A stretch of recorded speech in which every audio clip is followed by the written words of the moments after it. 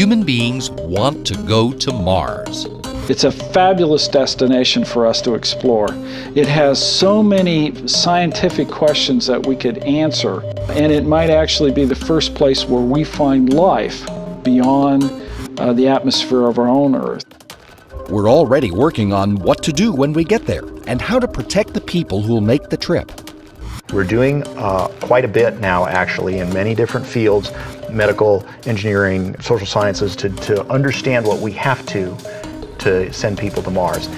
And much of that work is in progress right now on board the International Space Station.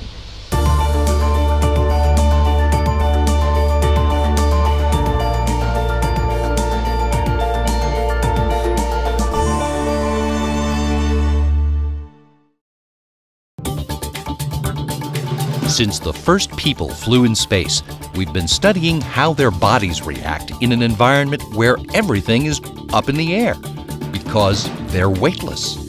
You may develop motion sickness. You will definitely have fluid shifts into your chest and head. You will lose muscle strength. You will lose bone strength. You will be receiving radiation that we don't receive on the ground, and we're not sure exactly what that will do. Exercise is a very effective countermeasure. That coupled with drugs used for osteoporosis have allowed us to eliminate bone loss in most or all of the astronauts that have done both the exercise and taken the drugs. But there's also the isolated, confined, extreme environment that the astronauts are in. And that's a challenge to the psychology and, and mental health and performance. On the International Space Station, we've studied people in the space environment for six months at a time. But a Mars mission will take five times as long. Mars missions may take 30 months start to finish. So I don't think it's a bad idea to start getting some longer experience uh, on the International Space Station to give us an idea of what's awaiting us on these future very long flights. So the station partners are taking the next step. For the first time ever on this vehicle, a pair of crew members is going to space for a year. My first flight was very rewarding. There are certain times that are you know, fun. Um, it is very challenging to live on the space station for six months. If we're going to go to Mars, we need to understand how the human body reacts in space for longer periods of time. Человечество по орбите все время летать не будет. Нужно осваивать новые планеты, нужно осваивать э, Солнечную систему. Это, это неизбежно. И этот полет как бы первый шажочек вот на этом направлении. Station science during this year will continue to study bone and muscle weakness and psychological effects.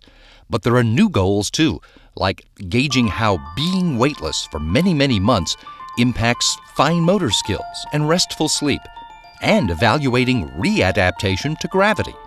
After the astronauts land in Central Asia, after the one-year mission. We'll take them into a small tent and ask them to do certain very simple and very routine activities and measure how much they can and cannot do after the, the long period of spaceflight. And the crew will use equipment that's already on board to try to quantify the fluid shift that is the prime suspect in vision changes and maybe do something about it. Wouldn't it be nice if we could change that fluid distribution in spaceflight and make measurements of the shape of the eye and, and other function and see if that really is the cause and the effect? At the same time, Kelly and Kornienko and their crewmates will help with the development of technologies that will need to be improved if future deep space missions are to succeed. The International Space Station is a test bed. It allows us to test our communications methods, perfect them, uh, so that we know how to handle large delays later on. Station robotics on ISS are uh, developing tools that are going to assist uh, crew members for future missions, especially long duration missions uh, to Mars. Uh, we're going to assist the crew members uh, by having the robots do the repetitive tasks and also do the, the tasks that are in the dangerous environment that we don't want to subject our crew members to. When we go to sit down and finally design the new next generation regenerative life support for a spacecraft to take us to Mars, we'll be able to draw on all the operational experience we've gotten with the space station systems to improve the system and make a more reliable and uh, user-friendly system for the crew. While fostering international cooperation and providing benefits to people on Earth right now, and serving as a destination for commercial vehicles and research, the International Space Station is enabling future space exploration. The trip to Mars starts right here.